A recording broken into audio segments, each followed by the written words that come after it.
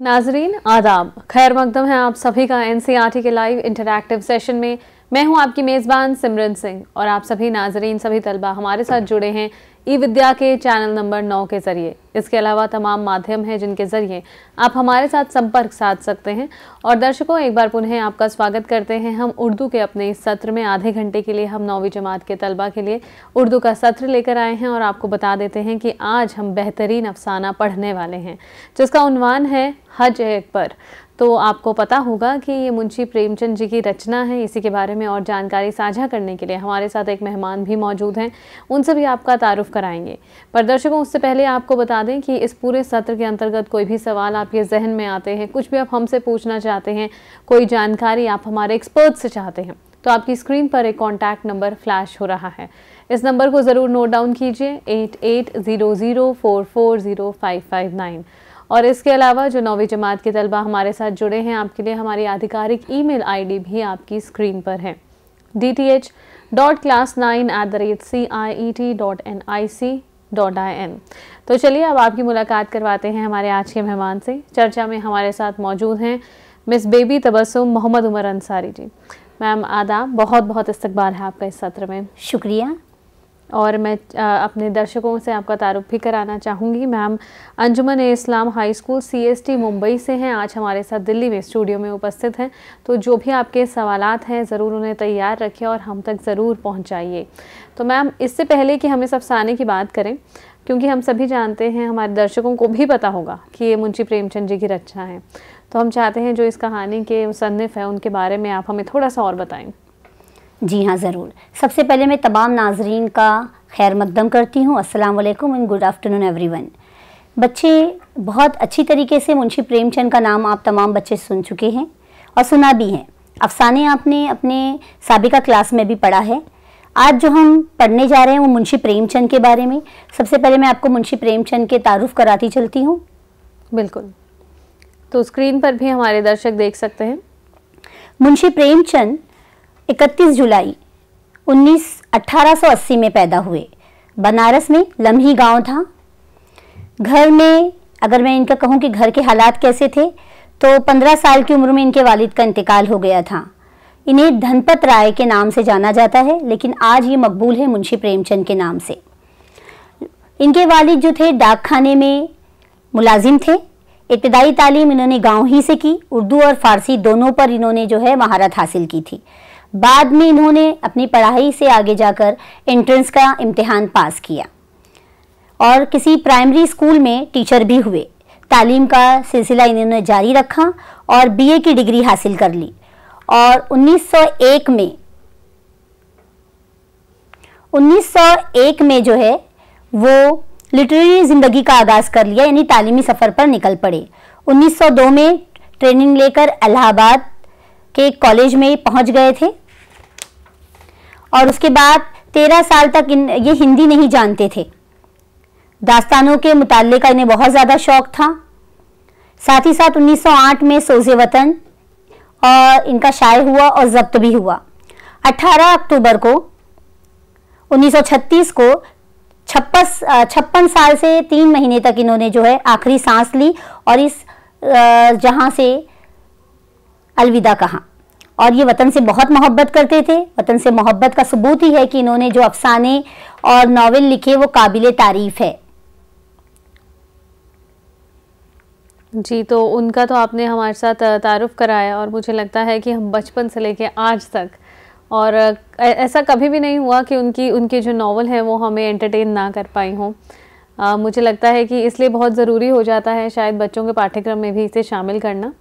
तो चलिए आगे बढ़ते हैं इस सत्र में और हम चाहेंगे आपसे निवेदन करेंगे कि इस अफसाने की तशरी कीजिए आप हमारे सभी तलबा के लिए। जी हाँ। सबसे पहले मैं ये बताना चाहूँगी कि प्रेमचंद ने ना सिर्फ़ अफसाने बल्कि नावल भी लिखे और मैं कुछ नावल के नाम पहले बच्चों को बताना चाहूँगी। गौदान बहुत ही ज़्यादा मशहूर नावल है, उसके बाद गबन जलवा ईसार, बेवा और बाज़ार हुस्न, ये इनके नावल हैं।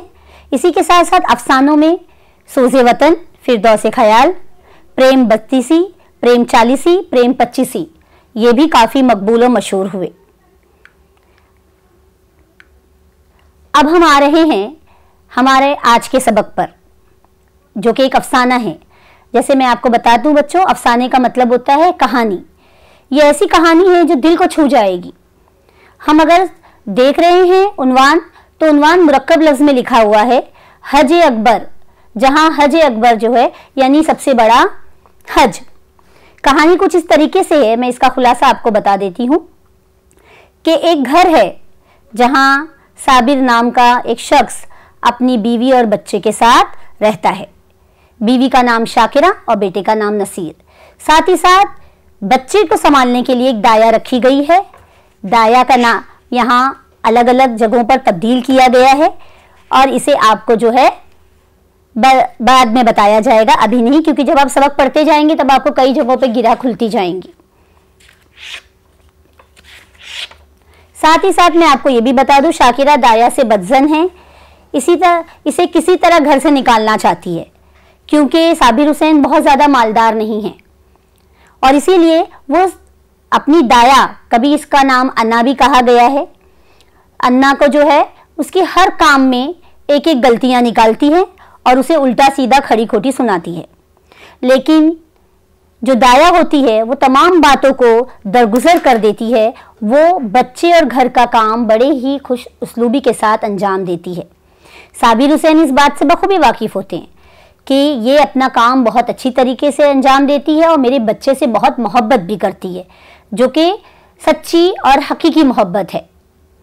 लेकिन यहाँ जो शाकिरा है इसका किसी न किसी तरीके से बहाना निकाल कर इसे अपने घर से निकालने में जो है कामयाब हो जाती है। अब इसका बराह राज जो असर होता है, जब दाया को घर से निकाल दिया जाता है, इसका असर होता है बच्चे, यानी नासिर पर। जो नसीर मियाँ होते हैं, वो इसकी वजह से बीमार हो जाते हैं। गम में उठते, बैठते, खाते, पीते, खेलते, कूदते, वो सिर्फ़ और सिर्फ़ अपनी अन्ना को याद करते हैं, यानी कि दाया को। यहाँ पर शाकिरा को लगता है कि कुछ दिनों की बात है दो तीन दिन की बात है। अभी हमारा बच्चा सही हो जाएगा। लेकिन वो दो तीन दिन जो है, हफ्तों में तब्दील हो जाते हैं और बच्चा दिन ब दिन जो है, उसकी तबीयत खराब होने लगती है। यहाँ तक कि वो बिस्तर पर पड़ जाता है, खांसी और बुखार में मुब्तला। यहाँ वालिद जो हैं, यानी साबिर हुसैन बहुत ज़्यादा परेशान हो जाते हैं, संजीदा हो जाते हैं और सोच पे मजबूर हो जाते हैं कि उनकी बीवी ने ऐसा क्या काम किया कि आज उसके बच्चे की जान जो है बंद पड़, बंद पड़ी है। वो अपनी बीवी से कहते हैं कि तुमने अगर ऐसा नहीं किया होता और अपने अखलाक और बर्ताव अच्छे रखे होते तो आज दाया हमारे घर से जाती नहीं। सबक में आगे जैसे हम बढ़ते हैं तो पता चलता है दाया, यानी कि जो अन्ना है, उनका नाम जो है वो अब्बासी होता है। अब्बासी दिल और जान के साथ जो है वो नसीर की खिदमत करती थी और उन्हें प्यार मोहब्बत हर तरीके से जो है उनका ख्याल रखती थी। यहाँ पर बच्चा जब बीमार हो जाता है तो आ, हमारे जो साबिर हुसैन है वो कहते हैं अपनी बीवी को कि वो जाएँ और जाकर जो है अब्बासी को बुला लाएँ। तो उनकी बीवी तैयार भी हो जाती है क्योंकि बच्चे की बात सवाल आता है। तो यहाँ पर जो है, वो कहते हैं कि रहने दो, मैं जाके बुलाता हूँ। जब वो जाते हैं उसे बुलाने के लिए तो घर पहुँच पता चलता है कि अब्बासी तो हज के लिए निकल पड़ी है और उसने अपना सफ़र भी तय करने के लिए रेलवे स्टेशन तक जा पहुँची है। वो दौड़ते भागते हुए रेलवे स्टेशन तक पहुँचते हैं, अब्बासी को रेल के डब्बे में बैठा हुआ देखते हैं और कहते कहाँ जा रही हो? तो अब्बासी हँसते हुए कहती है, जैसे सब जाते हैं हज, करने मैं भी हज करने जा रही हूँ। तो अब्बासी उनसे पूछती, ये बताइए नसीर मियाँ कैसे हैं? तो यहाँ पर उसके वालिद कहते, ये पूछ के क्या करोगी? तो बोले, नहीं, मैं जानना चाहती हूँ, कई बार मैंने हिम्मत की कि आऊँ और बच्चे से मिलकर जाऊँ, लेकिन किसी वजह से ना आ सकी। यहाँ पर साबिर हुसैन कहते हैं कि तुम्हारा बेटा या तुम्हारा कलेजा बहुत ज़्यादा बीमार पड़ा हुआ है, तुम्हारे फ़िक्र में, तुम्हारी याद में, वो उसने दो दिन से आँखें नहीं खोली है। ये सुनना ही था।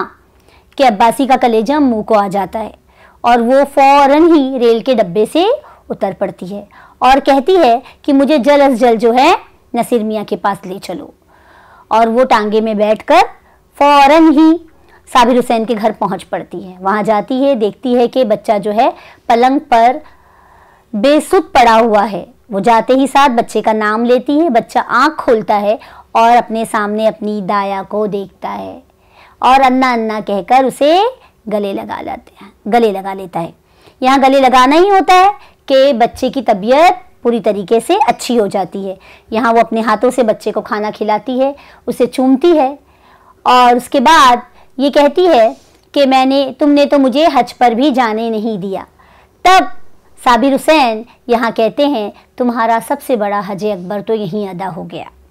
सबक का ये मैंने आपको खुलासा समझाया। उम्मीद करती हूँ कि खुलासा समझ में आया होगा। खुलासा समझने के लिए ज़रूरी है कि हज अकबर जो सबक हमने अभी आपके सामने पेश किया है, इसे पढ़ना बहुत ज़रूरी है बच्चों।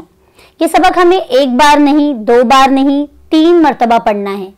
जब हम पढ़ेंगे, तब इसकी गिरह दर गिरह खुलती हुई जाएँगी। अब सबक में सबसे जो अहमियत रखता है वो है अफसाने की अज्जाए तरकीबी। ये मैं आप बता देती हूँ। ये आपके सामने जो है, हमने सबक को पेश किया है, पीपीटी के ज़रिए। यहाँ पर अजाय तरकीबी में जो प्लॉट है, ये कहना चाहूँगी मैं कि प्लॉट बहुत ही ज़्यादा आसान है, सादा है कहीं कहीं पेचीदगी है, लेकिन उसे इस तरीके से बयान किया गया है कि जुमले एक दूसरे से मरबूत हो रहे हैं। कहीं भी घुटा हुआ नहीं है, किसी तरह का झोल आपको दिखाई नहीं देगा। वाकिया दर वाकिया जो है, सबक अच्छी तरीके से आपको समझ में आएगा। यहाँ किरदार, अफसाने में मुकम्मल तौर पर कुल चार किरदार हैं। पहला किरदार मुंशी साबिर हुसैन है। दूसरा दाया, जिसे कभी बुढ़िया कहा गया, मामा कहा गया, अन्ना कहा गया और अब्बासी कहा गया। शाकिरा, यानी कि साबिर हुसैन की बीवी। उसके बाद नसीर, साबिर और शाकिरा के बेटे। और मैं आपसे ये कहूँगी कि पूरे सबक में जो सबसे अहम किरदार है, मरकज़ी किरदार, जिसकी वजह से सबक का उनवान ही हज अकबर रखा गया, वो है हमारी बुढ़िया यानी अब्बासी बेगम। मंजर निगारी बड़ी पुरकशिश अंदाज में की गई है। हालात इस तरीके से पैदा किए गए कि किस तरीके से शाकिरा ने अपनी दाया को घर से निकाला। ऐसे हालात पैदा किए कि दाया को घर से निकलना पड़ा, जबकि वो निकलना नहीं चाहती थी। जुजियात निगारी, यहाँ अशिया की तफसीलात को बड़े ही अच्छे अंदाज में बयान किया गया है। वो मंजर जब दाया बाज़ार जाती है और एक ऐसा मंजर देखने लगती है जिसकी वजह से उसे घर आने में जो देर हो जाती है। और वहीं से ये सिलसिला शुरू होता है कि शाकिरा जो है उन्हें घर से निकालने पर तुल जाती है। मकालमा, यानी बातचीत, दो या दो से ज़्यादा लोग बात कर रहे हैं। यहाँ कभी गुफ्तगु के ज़रिए भी बताया गया है और इसे किरदारों के ज़रिए भी बताया बयान किया गया है। साथ ही साथ जो है, जज्बात और एहसास को बड़े ही फ़िक्र और अमल के साथ और हमदर्दी के जज्बे के साथ बयान किया गया है। टेक्निक, बयानिया टेक्निक है। जुमलों के ज़रिए आप, जैसे मैंने स्क्रीन पे बताया है कि शाकिरा का दिखाई दे रहा है, साबिर मियाँ फिर शाकिरा। ये इन लोगों के जुमले हैं बेटा, जो बच्चों ने एक दूसरे के साथ आपको भी इस तरीके से आप मकालमा कर सकते हैं, जैसे कि यहाँ पर पीपीटी पे बताया गया है। इसे हम मकालमा निगारी भी कहते हैं। अफसाना निगार ने जगह जगह पर कहानी को मोड़ दिया है। जबान बयान यानी कि उस उसलूब को बड़ा ही सादा और आसान रखा है। कहीं किसी तरह की पेचीदगी नहीं है। मंजर को बड़े ही दिलचस्प अंदाज में नया मोड़ देकर बयान किया गया है। और ऐसे में इससे पहले कि आगे बढ़े मैं जानना चाहूँगी आप हमारे सभी तलबा को भी बताएँ कि ये जो अभी हमने अफसाना पढ़ा है इसका मरकज़ी ख्याल क्या है? क्या ऐसा कोई पैगाम है जो ये हमारे सभी नाजरीन जो जुड़े हैं उन्हें देता है? आपको क्या लगता है? जी हाँ बेशक देता है। क्योंकि हम जब भी किसी दरसी किताब में अफसाने डालते हैं तो उसका सबसे अहम मकाम होता है कि हमारे नाजरीन तक जो है वो एक पैगाम पहुँचे। यहाँ ईसार मोहब्बत भाईचारगी और हुसन सलूक का पैगाम मिल रहा है कि कौन नहीं चाहता कि हम हज पर जाएँ? आज अगर मैं कहूँ तो हर कोई ये चाहता है कि हमें हज पर जाना है, लेकिन एक बच्चे की ज़िंदगी बचाने के लिए, एक बच्चे से इतनी मोहब्बत इतनी मोहब्बत कि हज को छोड़कर उन्होंने जो है, उस बच्चे की ज़िंदगी बचाने पर ज़्यादा उन्होंने तरजीह दी। और वो वहाँ सफ़र तय करने के बजाय उस बच्चे को देखने के लिए फ़ौरन निकल पड़ी।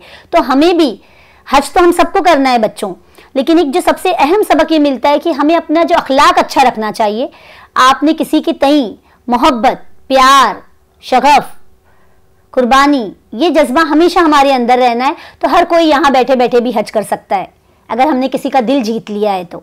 बिल्कुल और जैसे कि हमने देखा कि इस सबक का जो उनवान है हज अकबर यानी सबसे बड़ा हज जिसे कहा गया है तो ये जो सबक का उनवान है ये कैसे मुकम्मल होता है इस कहानी के अंतर्गत आप बताइए। हज अकबर अकबर का मतलब ही होता है बड़ा और जो बड़ा हज होता है वो सभी जानते हैं कि ईद उज़हा के जो हमारी नौ दस तारीख होती है वहाँ उसे बड़ा माना जाता है आ, लोगों के जहन में इस तरह के तस्वुरात होते हैं कि कुछ एक स्पेसिफिक दिन है जैसे जुम्मा के दिन जो हज होता है वही बड़ा है आ, इस सबक के ज़रिए ये पता चल रहा है कि अगर एक छोटे से बच्चे की जान हमने बचा ली हम्म। तो सबसे बड़ा हज वो है। और इसी इसी कहना चाहिए जज्बे के तहत मुंशी प्रेमचंद ने अपने इस अफसाने का उनवान ही हज अकबर रख दिया। और हकीकत है कि अगर हमें किसी की जान बचानी है तो हम उससे बड़ा काम कोई नहीं है। तो हज पर हम जाके अरकान अदा करते तो यहाँ भी उन्होंने एक रुकन अदा किया एक बच्चे की जान बचाकर क्योंकि वो हकीकत में उससे बहुत ज़्यादा मोहब्बत करती थी सच्ची मोहब्बत। और ऐसा नहीं कि सिर्फ़ अब्बासी बेगम मोहब्बत करती थी। बच्चा भी उन्हें उसी तरीके से मोहब्बत करता था। इसीलिए तो गम में बीमार हो गया। तो एक बच्चों को ये पैगाम भी जाता है कि अगर हमारे घर में कोई काम कर रहा है बच्चों कोई भी सर्वेंट है तो हमें उनके साथ अच्छी तरीके से पेश आना चाहिए। बिल्कुल। ये जर्फ की बात है कि वो हमारा काम करके दे रहे हैं। या वो हमारे लिए अपनी खिदमत जो है आपकी खिदमत कर रहे हैं। तो जो आप देंगे आप इज़्ज़त देंगे आपको भी इज़्ज़त मिलेगा। प्यार देंगे आपको प्यार मिलेगा। और इस अफसाने में एक बात और बहुत ख़ास और दिलचस्प है कि जब हम अब्बासी की बात करते हैं तो उसका पहले नाम नहीं लिया गया। बेशक। जिस तरह से सबक को लिखा गया है इसकी इस तरह से रचना हुई है कि बिल्कुल बाद में जाके अंत में पता लगता है कि उसका नाम अब्बासी है। हम्म। तो आ, क्या इसके ज़रिए भी लेखक कुछ कहना चाहते हैं? जी हाँ। यहाँ पर जो अफसाना निगार मुंशी प्रेमचंद है उन्होंने बड़ी ही इसलूबी की तरह इसलिए मैंने कहा कि जब उसलूब यानी लिखने का तरीका मंजर निगारी वगैरह कि इस तरीके से किया जाता था पहले कि जो गरीब हैं या जो बहुत ज़्यादा साहिब हैसियत नहीं है उन्हें कभी बुढ़िया कभी मामा कभी हम्म। अन्ना ऐसे करके नामों से बुलाया जाता था हम्म। लेकिन हम आज भी ऐसे बहुत कम ऐसे लोग हैं जो आ, कहना चाहिए कि इज़्ज़त नहीं करते आजकल तो लोगों को पता है कि गिव एंड टेक का मामला है जो दोगे वो मिलेगा तो यहाँ पर भी उन्होंने यही किया कि बड़ी खूब अपनी मंजर को वाक्य को आगे बढ़ाने के लिए उन्होंने ये बताया है कि वो गरीब थी एक हम्म। वक्त था कि जब बहुत अच्छा था उसका लेकिन आ, बाद में जो है उन्होंने जो उसका नाम बताया तब तक वो जब नाम उन्होंने यहाँ पर उसका आया किया तब तक वो घर छोड़कर जा चुकी होती है हम्म। जब तक उनके घर में काम करती है और उनकी बीवी के ताने सुनती है और उस आ, आ, बच्चे की खिदमत करती है तब तक बुढ़िया मामा और अन्ना जो हमारा नसीर है वो अन्ना कर कर बुलाता था और उनको मामा और बुढ़िया जो है या दाया ये उनकी बेगम शाकिरा इस तरीके के नाम से उन्हें बयान करती थी। बाद में पता चलता है कि नसीर मियाँ बताते हैं कि ये अब्बासी की तुम्हारी वजह से अब्बासी गई है तब उसका नाम वहाँ पर मुसन्फ ने जो है आया किया खुलासा किया, खुलासा किया है। बिल्कुल आगे बढ़ते हैं। जी। अब यहाँ पर मैंने जहाँ जबान और की बात की वहीं पर मैं एक चीज़ और यह बताना चाहती हूँ कि मुंशी प्रेमचंद ने कई जगहों पर जो है आ, आ, उनके कुछ जुमलों को मैं बताना चाहती हूँ किस तरीके से बताया है कि शाकिरा भरी बैठी थी। दाया को देखते ही उसके तेवर बदल गए। क्या बाज़ार में खो गई थी? दाया ने खतावाराना अंदाज से सर झुका लिया और बोली बीवी एक जान पहचान के मामा से मुलाकात हो गई और बातें करने लगी। यानी कि मैंने आपको बताया शुरू कहा खुलासे के दौरान ही कि किस तरीके से जो है वो बाज़ार में एक मंजर देखने लगती है और वहाँ पर जो है उसे देर हो जाती है, खो जाती है मंजर देखने में। तो यहाँ पर शाकिरा का गुस्सा उसके ऊपर आ रहा है।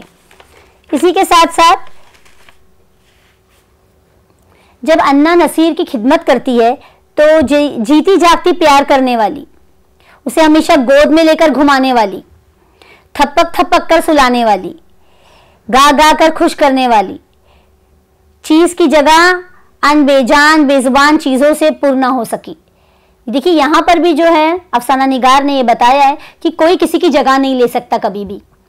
जबकि हमारी जो है, दाया के, यानी कि अब्बासी के जाने के बाद दूसरी दाया ला दी जाती है, लेकिन वो जगह, वो दाया पूरी नहीं कर पाती। नसीर के लिए दा, दाया उसकी दुनिया की आफ्ताब थी। उसकी कुदरती हरारत और रोशनी से महरूम होकर सब्जा की बहार क्यों कर देखता? वो कोई और चीज़ देखना ही नहीं चाहता था। बगैर इसे चारों तरफ़ अंधेरा सन्नाटा नज़र आता। दूसरी अन्ना तीसरी हर दिन रख ली थी। पर नसीर की सूरत देखते ही मुँह छुपा लेता था। यानी अगर कोई और अन्ना आती थी उसे संभालने के लिए तो उनको वो देखता ही नहीं था। अब जब यहाँ पर बच्चा देखने को तैयार नहीं और दिन ब दिन उसकी हालत जो है घुलती जा रही है, वो जो है बीमार पड़ता जा रहा है तो यहाँ पर जो हमारे साबिर हुसैन है, उनका गुस्सा जो है शाकिरा पर जब बनता है तो मैं उसके कुछ जुमले के बताना चाहती हूँ। शाकिरा ने डरते डरते कहा, आज बड़े हकीम साहब को बुला लेते हैं। बड़े हकीम साहब को बुला लेते हैं, शायद उनकी दवा से फ़ायदा हो। साबिर हुसैन ने काली घटा की तरफ़ देखकर तुर्शी से जवाब दिया। तुलसी यानी तलखी से। बहुत तीखा जवाब दिया।